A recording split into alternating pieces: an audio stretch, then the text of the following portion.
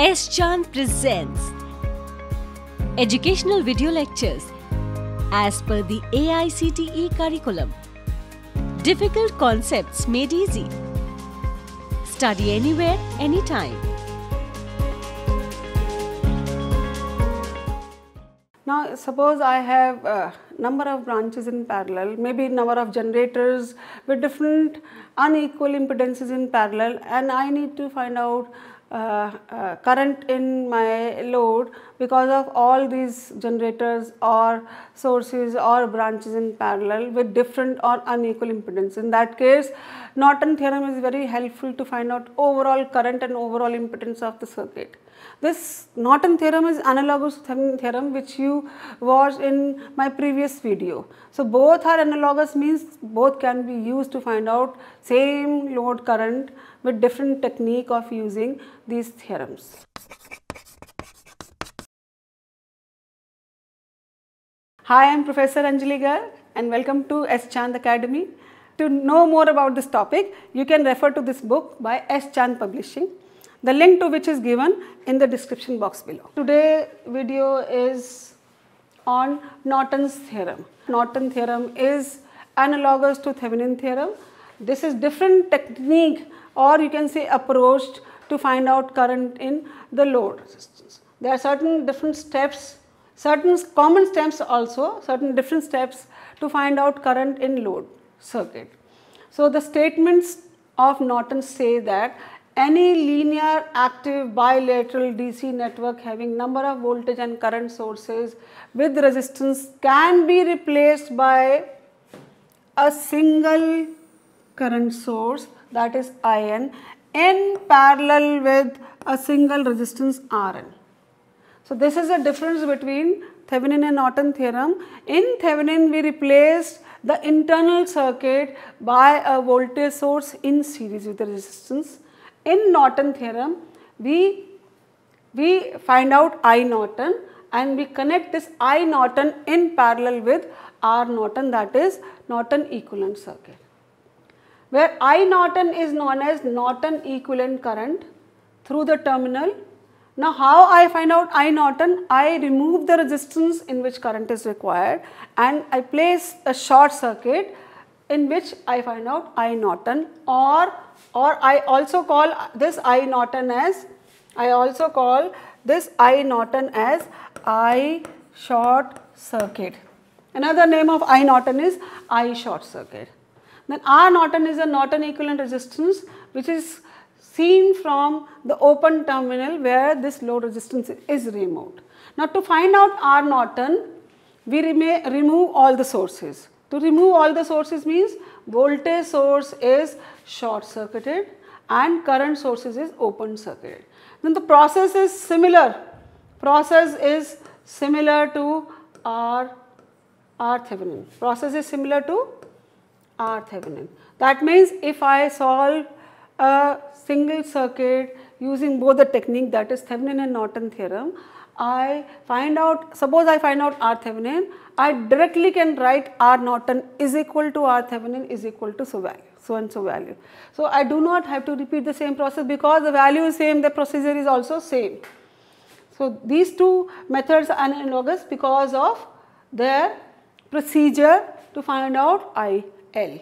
Now using Norton theorem, this is my black box which consists of internal circuitry and this is the load, load resistance in which I need to find out I, IL. So I convert this black box into a current source in parallel with the resistance. So this is my equivalent circuit which I consist of current source IN, Norton current in parallel with RN that is Norton resistance. So I replace back RL and find out current IL in this circuit. This is standard form, this is called as equivalent circuit and any complicated circuit with n number of branches can be converted into a current source in parallel with the resistance. So let me start with the steps. I will start with the same circuit which I used in uh, Thevenin theorem and then we will find the same current RL in, uh, in RL, let this is R1, R2 and this is voltage. And my question is what is IL. So first step is remove RL and short circuit open terminals. So first difference between Thevenin and Norton is in Thevenin we said that remove RL and find out uh, VThevenin about the open terminal. Now we are short circuiting this open terminal. So my circuit will become like this. My circuit will become like this. So these are my open terminals A and B where originally there was RL. So now I had placed a short circuit and I now have to find out I Norton or ISC in this short terminal. So second step is find I Norton or ISC in short terminals A, B. Now for this particular case, for this particular example, this is not standard. or this particular example, because the current coming from this side, there is two paths, one is of R2, another is short. So there will not be any current in R2. So my this I Norton will be I only. So my I Norton for this particular case will be I and this I is E by R1. So I am again stating that this is not the standard form. For this particular case, my, my uh, R2 is shorted because of this short circuit. So there is no current in R2 and my current I will be equal to IN. So that I is V by R1 and this is my I Norton for this particular example. Then third step is R Norton. For R Norton, we remove all sources. And for removing all sources means we replace voltage source by short circuit and we replace current sources by open circuit. So that means for R Norton there will not be any source in the circuit. So for this particular case now voltage source is short circuited and current source is open circuit. So I am getting now R Norton like this as seen from the open terminal. So for this particular case again I am stating for this particular case we can find out R Norton as R1 and R2 in parallel. So R1 into R2 divided by R1 plus R2 is my R Norton for this particular example. So now I have obtained, now I have obtained R Norton, this one. I have obtained I Norton, this one. Now next step is, next step is equivalent circuit. So fourth is equivalent circuit so equivalent circuit means I connect I Norton and R Norton in parallel. So this is my I Norton, this is my R Norton. They are connected in parallel across A, B terminals. So this is I Norton, I have obtained I, I, Norton, I Norton value, I have obtained R, R Norton value. So I connect these two in parallel across the open terminal A and B. Last step is replace replace back RL and find IL. So I will replace now RL and find out current IL using current division rule. So my IL will be IL will be total input current using current division rule IN into RN divided by RN plus RL. Using current division rule, I can find out current in RL, RL which is total input current into resistance of another branch divided by sum of resistance in parallel. So this is my IL, I can find out VL that is IL into RL, I can find out power that is IL square RL. So Norton theorem, so in Norton theorem we draw equivalent circuit like this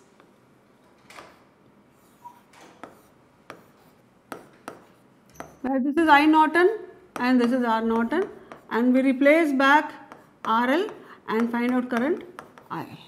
Now take an example for Norton theorem we can use even the same circuit which is used in Thevenin theorem to find out current. Now let my load current load resistance is R2 this one and I need to find out current in this one. So first step is find out I Norton. For I Norton, this is my circuit. This is terminal A and B.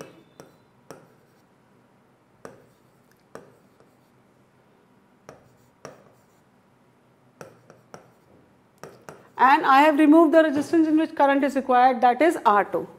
Then we will place a short circuit now so this is first difference with respect to Thevenin theorem. I place a short circuit and I find out I Norton. Now for, I Norton there are two sources. There are number of methods again to find out I Norton.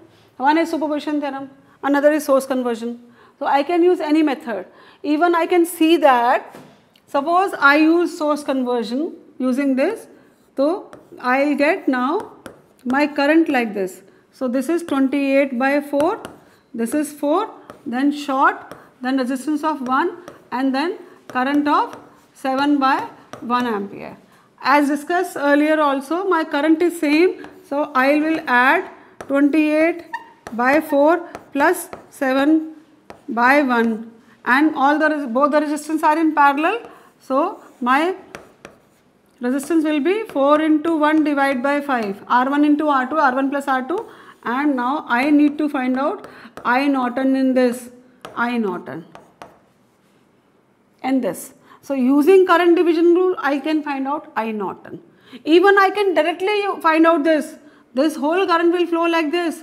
This whole current will flow like this. There is only one way. So my current will be 28 by 4. My current will be 7 by 1. You can see this is the current. So my I Norton my I Norton will be because this is short, there will not be any current in this. So, my I Norton will be 28 by 4, 4 plus 7. So, this is 28 plus 28 by 4. I Norton will now be 14 amperes. So, from any method using any method maybe this or using source transformation, superposition, any of the method will get the same current I Norton is equal to 14 amperes. Now second step is for R Norton. For R Norton we remove all the sources. So I short circuit voltage source. I short circuit another voltage source.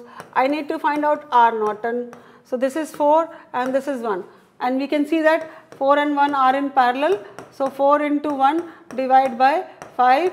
So 4 by 5 is my R Norton. So I now uh, third case is equivalent circuit.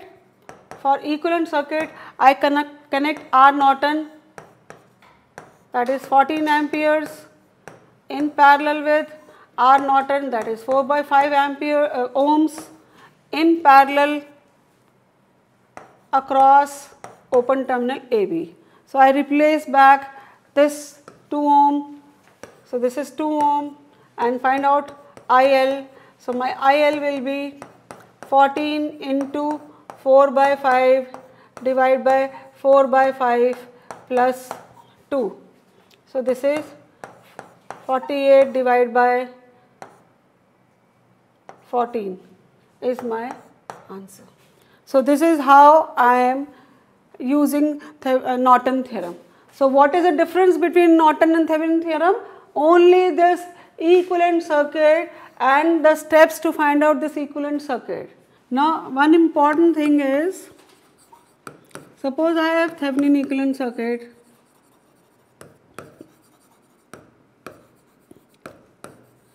like this about AB terminal.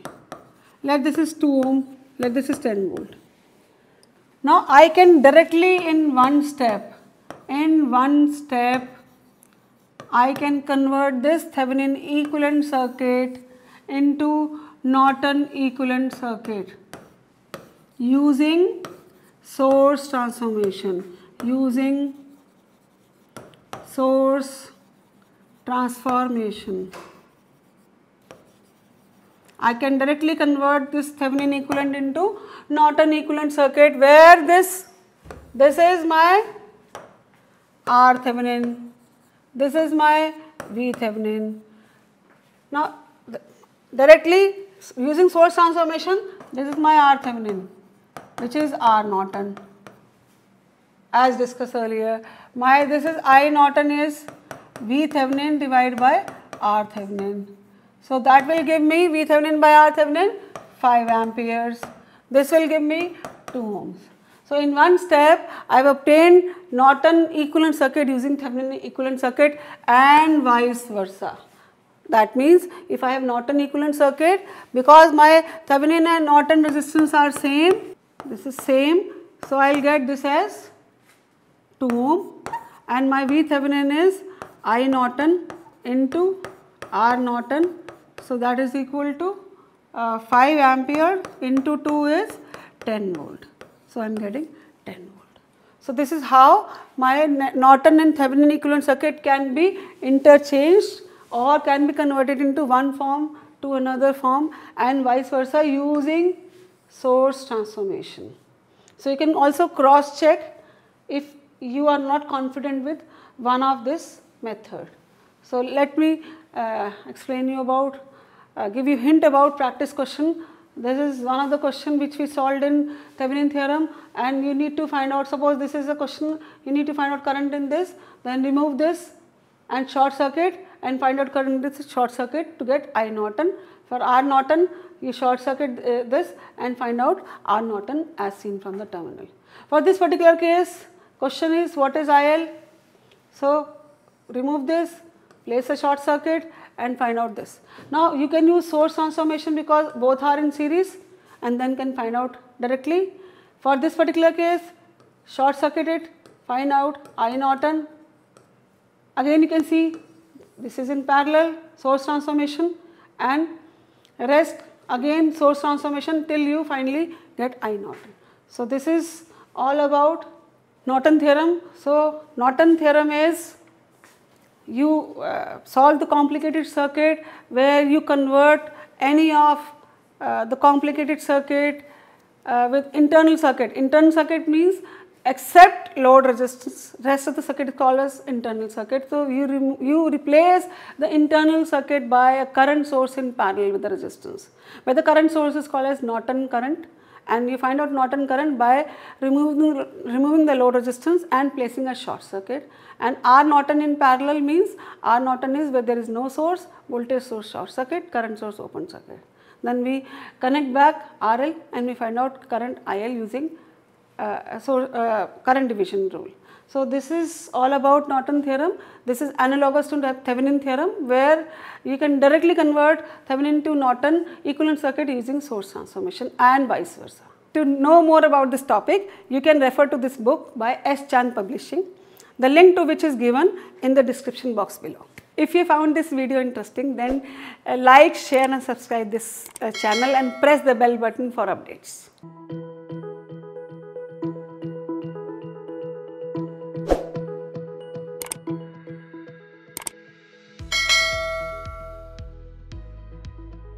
All rights reserved. This video has been prepared for educational purposes only. No part of it may be reproduced or copied without the permission of the copyright holder.